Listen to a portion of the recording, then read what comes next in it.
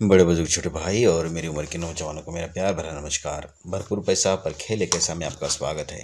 आज इस वीडियो में हम बात करेंगे मारू भोज ये एक जापानी नाम है और कैंडल का नाम है मारू भोजू मारू भोजू एक बुलिश और बियरिश कैंडल होता है और ये सिंगल कैंडल स्टिक पैटर्न का एक फॉर्मेट है।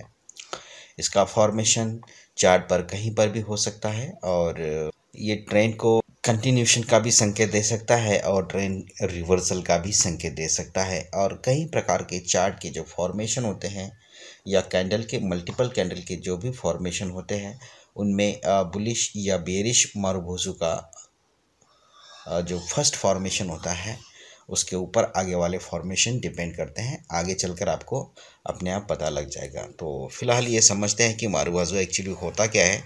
मारूबाजू कैंडल में अगर आप रेड कैंडल पैटर्न अगर समझते हैं तो इसका हाई और ओपन प्राइस तकरीबन एक ही होता है, ओके? यहाँ पर देखेंगे ओपन और ये हाई। बेरिश मारूबोसू में जो मैं हर वीडियो में, हर उसमें स्क्रिप्ट में आपको बताते चलता हूँ कि बेरिश कैंडल का ओपन प्राइस या फिर हाई प्राइस हाई प्राइस तो खैर सबका ऊपर ही रहता है, लेकिन बेरिश कैंडल का ओपन प्राइस ऊपर रहता है और क्लोजिंग प्राइस नीचे रहता है।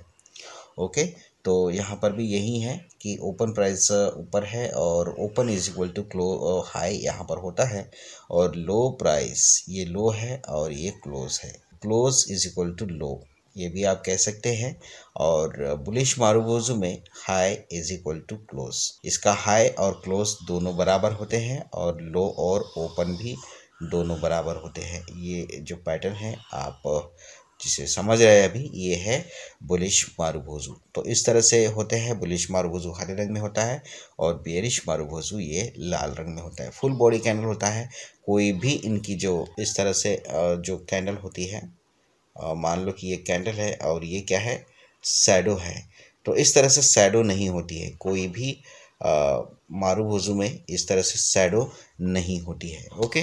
तो अभी हम चार्ट में चलते कि हम चार्ट पर आ गए हैं और अभी हम कोशिश करते हैं कि बुलिश और बेरिश मारू वज़ू को समझने की। ओके? मैं यहाँ पर थोड़ा सा इसे बड़ा कर लेता हूँ और आसानी से हम समझ पाएँगे। इनका जो फॉर्मेशन होता है, इनकी एग्जैक्ट लोकेशन है ना, कहीं पर भी हो सकती है। ये ट्रेन रिवर्सल का भी सिग्नल दे सकते हैं और ट्रेन कंटिन्यूशन का भी दे सकते हैं। और अभी हम देखेंगे सबसे पहले हमें मिला है बेरिश मारूबुजू तो आप यहाँ पर देखेंगे आ, कि बेरिश मारूबुजू कैंडल आपको मिला है यहाँ पर। मैं एक बार फिर से यहाँ पर ड्रॉ कर लेता हूँ और थोड़ा सा बड़ा कर लेता हूँ इसे। ये देखिए इस तरह से होते हैं बेरिश मारूबुजू कैंडल तो आप यहाँ पर देखेंगे, इसका जो कोई भी सैडो नहीं है अपर भी नहीं है और नीचे भी लोअर भी नहीं है।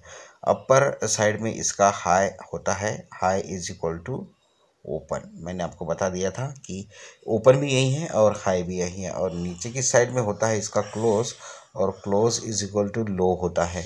ठीक है? कई बहुत सारे कैंडल में अगर आप देखेंगे तो इस वाले जो अगर ये जो रेड कलर में हैमर बना है क्लोज इज़ इक्वल टू यहाँ पर लो नहीं है, क्योंकि लो इसका बहुत नीचे है। आप यहाँ पर देख रहे हैं कि इसका जो लो है, बहुत ही नीचे है, लेकिन क्लोज इसका ऊपर है है ना? तो ये होता है, अगर सैडो वाली कैंडल होती है तो। लेकिन मारू बाजू में ऐसा नहीं होता है क्लोज और लो दोनों एक तरफ़ एक ही होते हैं, और हाई और ओपन ये भी एक ही होते हैं।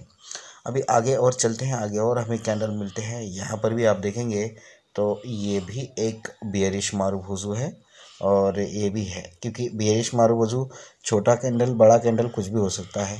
आगे देखते हैं और और एक बुलिश मारूभुजू को हम समझते हैं। यहाँ पर हमें मिला है और ये है छोटा बुलिश मारू मारूभुजू है। इसका आप देखेंगे, ओपन है और open is equal to low, इसका हो गया है।